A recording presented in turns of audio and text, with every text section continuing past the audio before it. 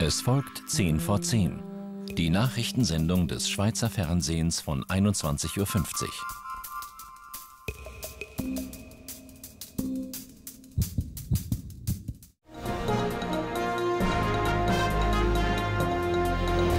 Meine Damen und Herren, guten Abend. Unsere Themen heute. Höhere Hürden. Immer mehr Soldaten wechseln in den Zivildienst. Jetzt fordert Bundesrat Maurer strengere Zulassungsregeln. Gemeinsames Ziel. Blocher, Löwra und Hayek rücken den Großbanken gemeinsam zu Leibe. Neue Spekulationen. Die südafrikanische Sprinterin Caster Semenya soll intersexuell sein. Und umstrittene Körperwelten. Wissenschaftlern geht die Leichenschau von Gunther von Hagens zu weit.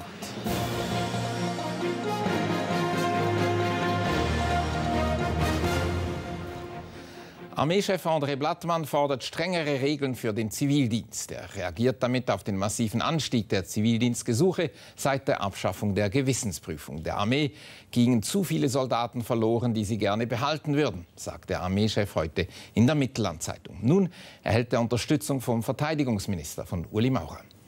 Die ersten paar Monate sind dramatisch. Wir verlieren viel, viel zu viel an den Zivildienst. Und die Weiterentwicklung muss man sorgfältig im Auge behalten.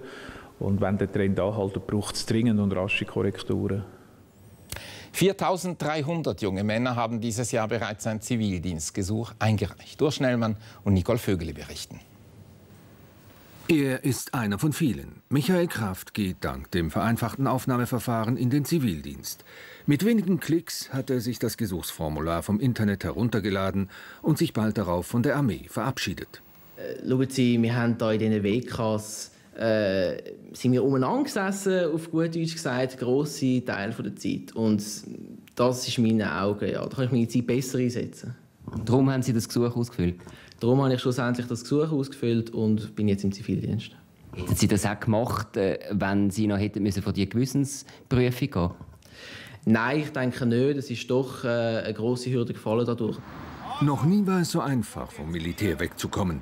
Möglich ist dies während des Dienstes sogar innerhalb weniger Tage.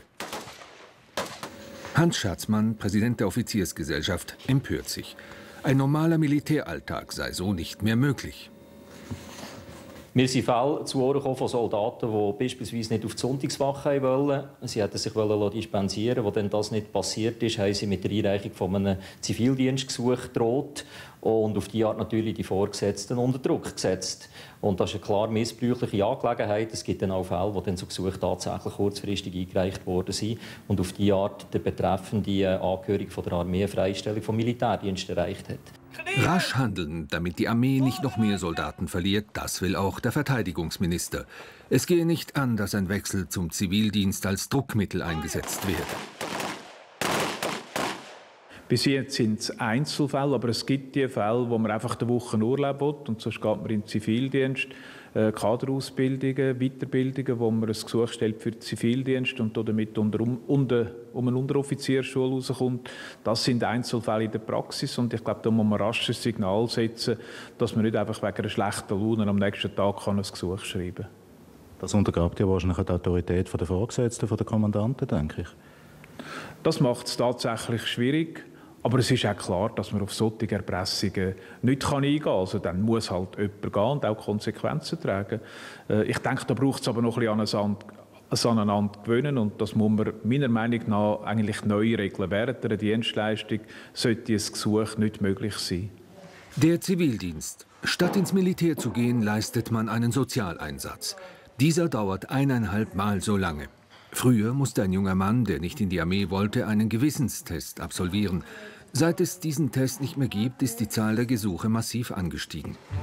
2007 gingen gut 1700 Zivildienstgesuche ein, letztes Jahr waren es gut 1900 und dieses Jahr sind es bereits über 4300. Samuel Wehrenfels ist der oberste Zivildienstler der Schweiz. Heute hat er in der Zeitung gelesen, dass der Armeechef strengere Regeln für die Aufnahme in den Zivildienst fordert. Er verteidigt das Verfahren. Es wird wohl Fälle geben haben, wo einzelne Leute mit unlauterem Motiv zum Zivildienst gewechselt haben. Wir gehen aber davon aus, dass das auf keinen Fall die Regel ist. Ich glaube, es ist nicht statthaft, wenn man aus Einzelfällen heraus ein System und eine Institution insgesamt in Zweifel zieht. Im Parlament fordern bereits mehrere Politiker, dass die Gewissensprüfung wieder eingeführt wird. Außerdem wollen sie den Zivildienst verlängern. Für den einen war der 12. September 2007 ein Tag des Triumphs, für den anderen der schwärzeste in seinem Politleben. SP-Präsident Christian Löwra war maßgeblich an der Abwahl von SVP-Übervater Christoph Blocher aus dem Bundesrat beteiligt. Wer hätte da gedacht, dass die beiden Kontrahenten einmal gemeinsam mit dem gleichen politischen Anliegen vor die Öffentlichkeit treten würden? Der Mann in der Mitte hier, Swatch-Gründer Nikola Hayek hat es bewirkt, dass man gemeinsame Sache macht. In einem Vorstoß, die beiden Großbanken, die CS und die UBS, finden alle drei, seien zu groß und eine Gefahr für die Schweizer Volkswirtschaft, wenn sie ins Wanken kämen. John Duri Vinzenz aus Bern. Die große Verbrüderung des Altbundesrats mit dem SP-Präsidenten im Berner Hotel Bellevue. Tut mir leid, dass die mit einem falschen Motiv für etwas richtig sind, wo wir also seit Jahren portieren. Es ist immerhin der, der Ihre Abwahl damals eingefädelt hat. Ja, ja, selbst mit solchen Leuten, wenn sie im Interesse des Landes ist, müssen sie halt auch mit widerlichen Typen an Tisch sitzen. Also zuerst äh, musste ich mich etwas überwinden, weil äh, in der Bankenfrage ist Herr Bloch nicht gerade glaubwürdig. Ist ein Freund von Marcel Ospel, er saß am Tisch der Abzocker, er hat beim Casinospiele der äh, Banken mitgemacht mit seinem Freund Hebner. Also es braucht Überwindung für mich, aber die Sache ist es dienlich. Blocher gegen Löwra. Mit der Abwahl des SVP-Bundesrats vor zwei Jahren war der Höhepunkt dieses Duells erreicht. Der SP-Präsident war einer der Drahtzieher. Ich bin jetzt froh, dass wir in der Situation sind, wo äh, Christoph Blocher abgewählt worden ist. Zurück ins Hotel Bellevue. Die Begrüßung ist kurz. Zusammengebracht hat die beiden Gegner Uhrenunternehmer Nicolas Hayek.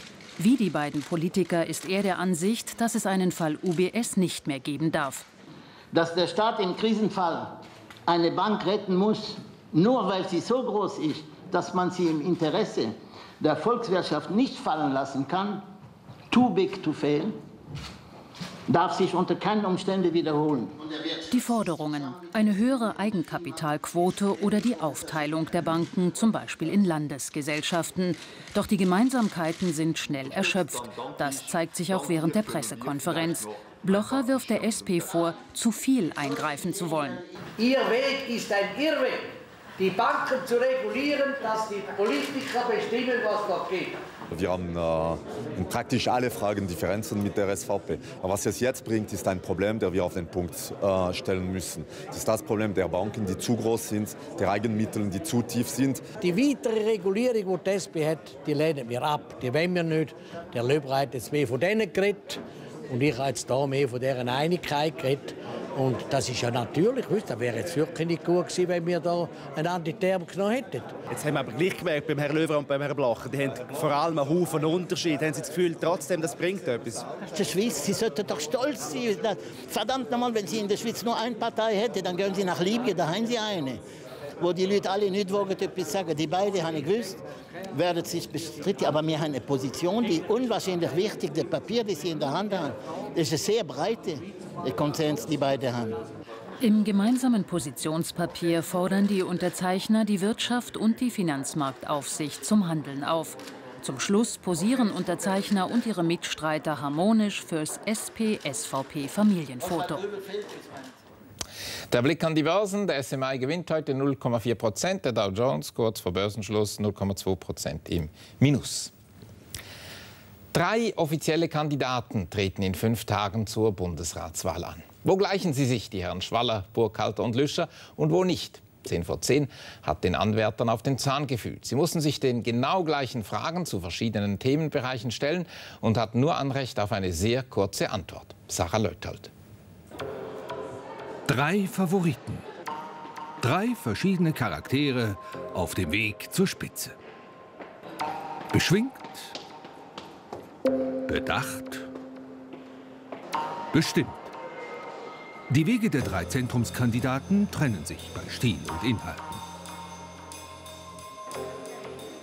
Hat der Bundesrat Merz in Liebe richtig gehandelt?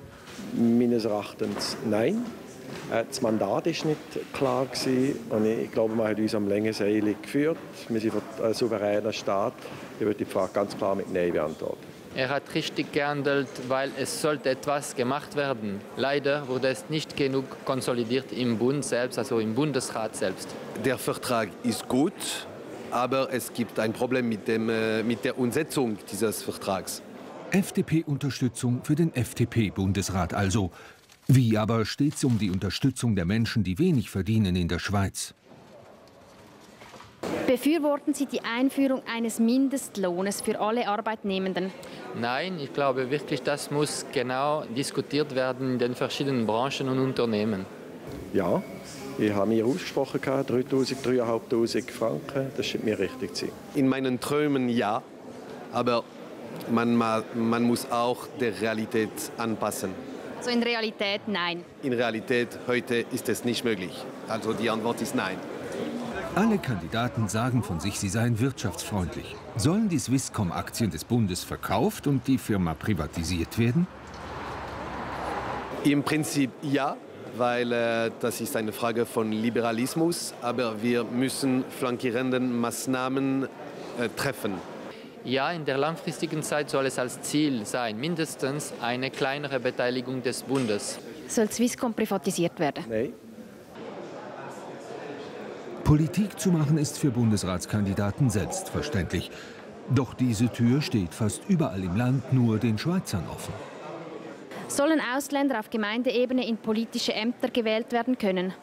Ja, das wäre gut. Das ist in Neuenburg der Fall schon und das ist gut für die Integration. Ja, unter Vorbehalt, dass die Gemeinde das es abschließt. Ich glaube, dass zuerst sie äh, müssen integrieren und um zu integrieren, müssen sie den Schweizer Pass nehmen. Soll zum Schweizer Pass auch ein EU-Pass kommen? Die Kardinalfrage der Schweizer Politik. Soll die Schweiz der EU beitreten? Nein, es soll jetzt dieser erfolgreiche bilaterale Weg weiter konsequent gefolgt werden. Die heutige EU, nein. Wir müssen aber pragmatisch bleiben, die Entwicklung weiterverfolgen. Und wenn wir einmal nur nachvollziehen und nichts mitentscheiden, müssen wir bereit sein, alle Optionen zu prüfen.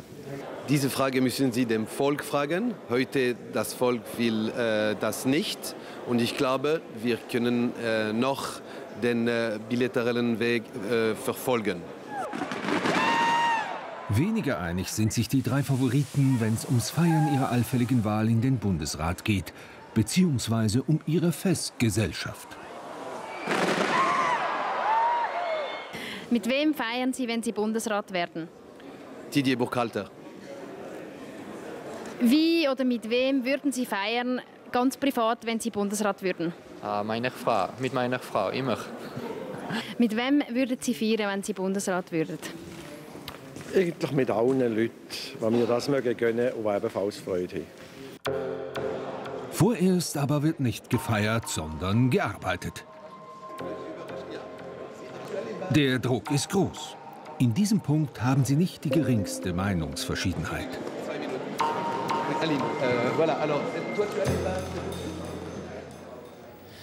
Seit acht Jahren hat das heutige Datum einen bedrohlichen Klang unter dem Schlagwort 9-11. Islamistische Terroristen flogen ja am 11. September 2001 zwei Passagierflugzeuge kurz hintereinander in die Twin Towers in New York. Angehörige trauerten heute in New York um die Menschen, die in den Trümmern des World Trade Centers umgekommen sind. Eine Glocke erinnert an den Moment, an dem die Flugzeuge in die Häuser gerast sind.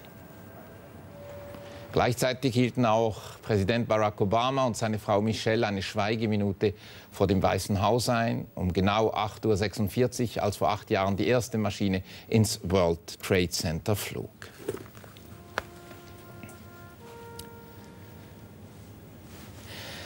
Der Sohn von Hermes und Aphrodite stieg einst nackt in einen Teich und unter Wasser umschlang ihn die Nymphe Salmakis so heftig, dass die Götter beide zu einem zweigeschlechtlichen Wesen verschmolzen. Dieser alte griechische Mythos hat den modernen Biologen so gefallen, dass sie bis heute Zwitterwesen mit dem Begriff Hermaphrodit bezeichnen. Und dass eine australische Zeitung jetzt die südafrikanische 800-Meter-Weltmeisterin Caster Semenya als Hermaphrodit bezeichnet, das erschüttert Südafrika. Schon als 18-Jährige Als die 18-jährige südafrikanische Siegerin in Berlin die Goldmedaille verliehen bekam, gab es Bedenken, ob sie tatsächlich im gleichen Maße Frau sei wie ihre Konkurrentinnen, die sie so klar auf die Plätze verwiesen hatte. Jetzt aber ist der Streit so richtig ausgebrochen. Rolf Gatschet.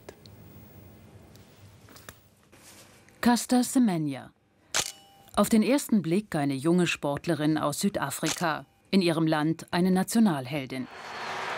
Mit ihrem Sieg an der Leichtathletik-WM in Berlin sprintet Semenya direkt in die Herzen ihrer Landsleute. Die 18-Jährige gewinnt den 800-Meter-Final um Längen.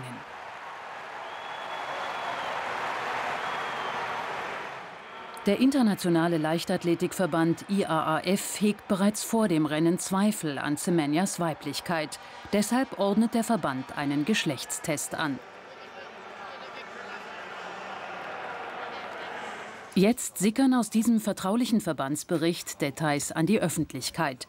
Die australische Zeitung Daily Telegraph behauptet, gestützt auf Aussagen eines Informanten, die Sprinterin würde sowohl männliche als auch weibliche Geschlechtsmerkmale aufweisen, sie sei ein Hermaphrodit.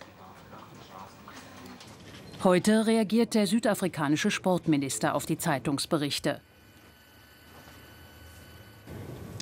Was bestürzend ist, dass das Muster der Veröffentlichungen solcher Behauptungen sich wiederholt seit Miss Semenyas Demütigung am 18. August begonnen hat.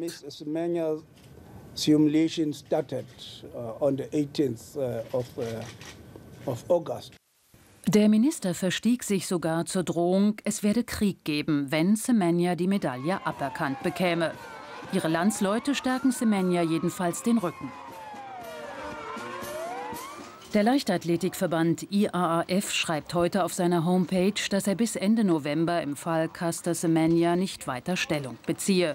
Gestern noch sagte Verbandsgeneralsekretär Pierre Weiß am Leichtathletikfinale in Thessaloniki, es ist klar, dass sie eine Frau ist, vielleicht einfach nicht zu 100 Prozent. Frau, Mann oder beides? Für Caster Semenya selber ist klar, was sie ist – Zuallererst eine Sportlerin.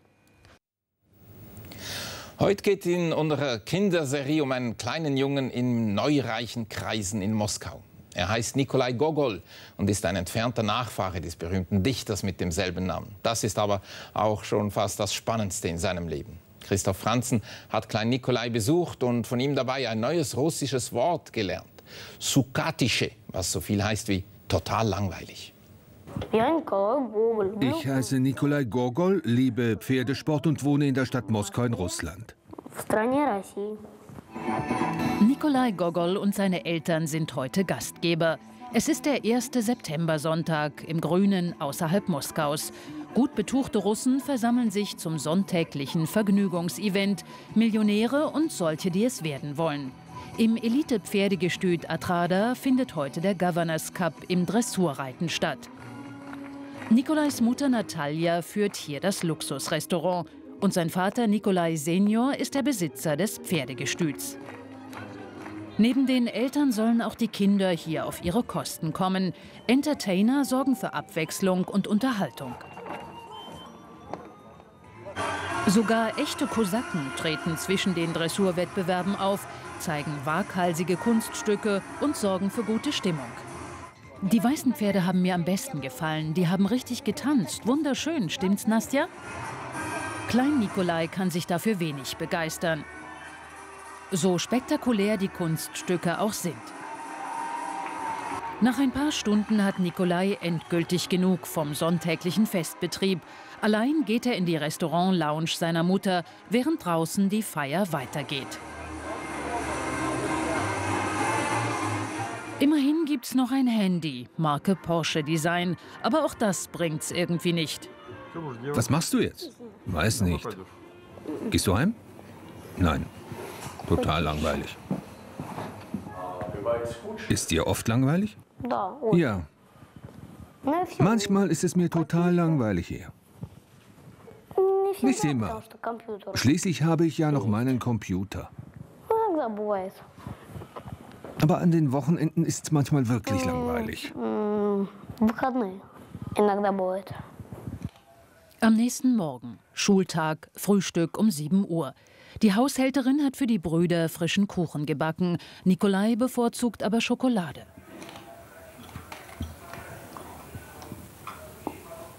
Der private Sicherheitsdienst öffnet die Eisentür vor dem Haus. Jetzt beginnt für Nikolai Gogol wieder der Alltag.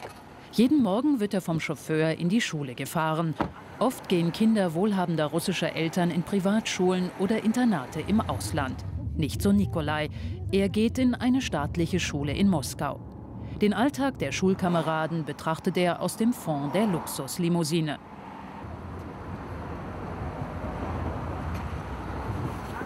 Diese staatliche Schule im Stadtteil Mitina zählt zu den besten in Moskau.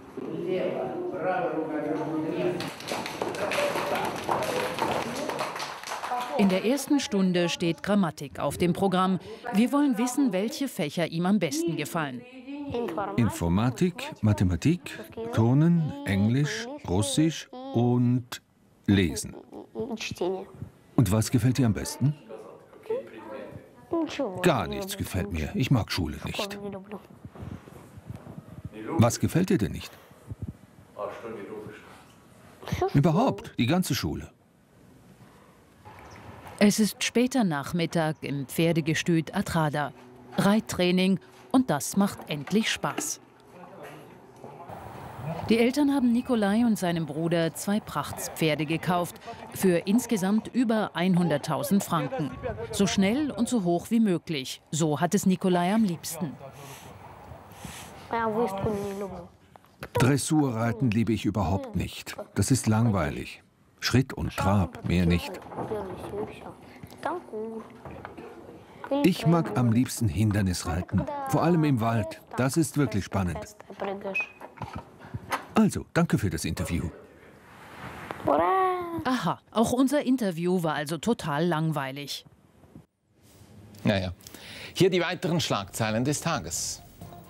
Der Teilchenbeschleuniger am CERN in Genf ist repariert. Er soll Mitte November wieder in Betrieb genommen werden, heißt es vom CERN. Eine Panne kurz nach der Inbetriebnahme hatte den größten Teilchenbeschleuniger der Welt mehr als ein Jahr lang lahmgelegt. In der Türkei naht eine neue Regenfront. 6000 Helfer sind in Alarmbereitschaft. In Ankara empfiehlt der Bürgermeister den Einwohnern für einige Tage in die oberen Stockwerke zu ziehen. In der belgischen Stadt Charleroi haben Bauern aus Protest Milch vor dem Rathaus ausgeleert. Immer mehr Milchbauern in Belgien und Frankreich wehren sich gegen die Politik der EU, den Milchmarkt weiter zu liberalisieren. Günther von Hagens lässt wieder die Puppen tanzen, beziehungsweise die Leichen. Elf Jahre nach seinem ersten Besuch mit der umstrittenen Ausstellung Körperwelten in der Schweiz lädt der deutsche Arzt erneut zur Leichenschau mit Special Effects. Diesmal posieren seine toten Vorzeigemenschen in allerlei auffälligen Positionen. Den einen gilt von Hagens als geldscheffelnder Leichenfledderer, den anderen als pionierhafter Aufklärer. Stefanie Schunke fragt auch in wissenschaftlichen Anatomenkreisen nach, was man dort von den schön herausgeputzten Leichen hält.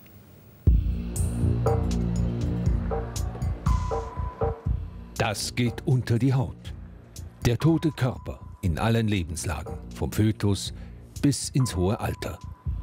Die neue Körperweltenausstellung Zyklus des Lebens liefert wieder tiefe Einblicke in die Anatomie des Menschen 200 Exponate, präpariert für die Ewigkeit, gibt es zu sehen. Gunther von Hagens und seine Frau zeigen selbst zwei Leichenpaare beim Sex. Der inszenierte Höhepunkt sozusagen. Ist das nun Wissenschaft für jedermann? Kunst oder einfach pietätlos? Die geladenen Gäste der Eröffnungsfeier sind unschlüssig. Die Faszination spüre ich auch, schon mich so ein bisschen erschreckt aus ich habe so eine, eine, Form von Ruhe, von, von Demut gegenüber dem, was ich hier gesehen, gespürt und äh, das äh, berührt mich sehr. Ja. Der Gedanke, ob es jetzt echt ist oder halt künstlich hergestellt, ist ein bisschen Gratwanderung. Also wenn es jetzt künstlich wäre, würde ich wahrscheinlich keinen Unterschied sehen und es wäre mir vielleicht auch lieber der Gedanke, es ist künstlich, also es ist echt. Also die Körperwelten sind seine Welt. Seit Jahren trotz Gunther von Hagens aller Kritik. Mit Erfolg. Rund 30 Millionen Menschen haben seinen Anatomieunterricht mit Show-Effekt schon durchlaufen. Doch hat eine Leiche im Spagat noch etwas mit Wissenschaft zu tun? Der Plastinator aus Leidenschaft meint ja. Ich bin zunächst erst einmal Arzt und als Arzt ist es mir viel wichtiger, Krankheiten zu verhindern, als Krankhaften zu heilen. Und ich weiß, dass ich hier Krankheiten verhindere, denn ich bin erst heute wieder im, beim Sockenkaufen hier in einem Kauf angesprochen worden von einem ehemaligen Basler Besucher, der sagte, wegen Ihnen habe ich noch Rauchen aufgehört, dafür bin ich Ihnen heute noch dankbar. Und dann weiß ich, dass ich am richtigen Fleck arbeite. Vor 32 Jahren erfand der Arzt aus Heidelberg die Plastination. Mit Kunststoffen wie Silikon oder Kautschuk imprägniert er Leichenteile. Hier wird gerade eine Rinderniere haltbar gemacht. Heute arbeiten Wissenschaftler auf der ganzen Welt mit von Hagens Verfahren. An der Universität Zürich werden tierische, aber auch menschliche Leichenteile nach seiner Methode präpariert. Ich denke, die Arbeiten von Herrn von Hagens haben die Anatomie sehr wohl beeinflusst. Also er ist sicher ein Pionier, dadurch, dass er die ganze Plastination eigentlich ähm, hervorgebracht hat. Und das ist jetzt eines von diesen Verfahren, die wir eben auch anwenden, um letztendlich beispielsweise in der Lehre und in der Forschung können Präparate ähm, am Student oder beispielsweise auch am Arzt präsentieren zu können. In der Studiensammlung der Universität erhalten die angehenden Mediziner dank der Plastinate tiefe Einblicke in alle Schichten des menschlichen Körpers. Dafür ist das Institut auf freiwillige Körperspender angewiesen, wie auch Gunther von Hagens. Doch die Leichenshow des Arztes geht Frank Röhli eindeutig zu weit. Als Anatomen von der Uni sagen wir, dass wir keine Kommerzialisierung wollen, eigentlich vom Leichenwesen, dass wir keine ähm, Verfremdung auch wollen. Also das Wichtige ist, dass die Anatomie eben wirklich in ihrem ursprünglichen Kontext eigentlich gezeigt wird. Wichtige Wissenschaft oder kranke Kunst? Es ist ein schmaler Grat, den Gunther von Hagens beschreitet. Genügend Besucher wird seine Ausstellung trotzdem oder gerade deswegen anziehen. Lebhaft unser weiteres Programm auf SF1 nach Meteo die Arena über die Bundesratswahl vom nächsten Mittwoch. Danke und einen schönen Abend.